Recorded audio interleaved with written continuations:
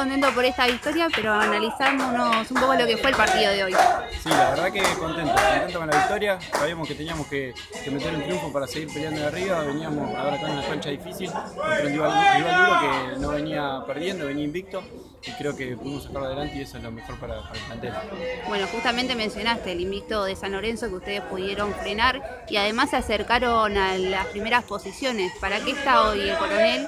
y cómo crees que puede repercutir el resultado de hoy?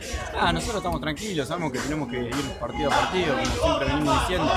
Eh, nos, viene bien ganar y subirnos un poquito ahí al lote de los de arriba.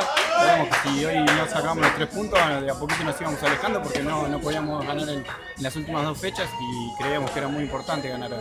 Y además van encontrando la regularidad que quizás no se le daba en las primeras fechas. Sí, no, bueno, cuando arrancamos creo que arrancamos bien en las primeras fechas, pero después en los últimos dos partidos habíamos perdido un poco de terreno, no podíamos meter un triunfo y hoy por suerte sí. Y para aquellos que no estuvieron presentes, contales un poco cómo fue la jugada del gol. Nada, linda, linda, una jugada ahí que, me queda ahí por suerte, una jugada la hicimos rápido en un, tiro libre, en una vivada por ahí, y pude pasar a meter al arquero por el costado, enganchar a un, un, creo que un defensor de ellos y empujarla ahí como, con lo último que me quedaba.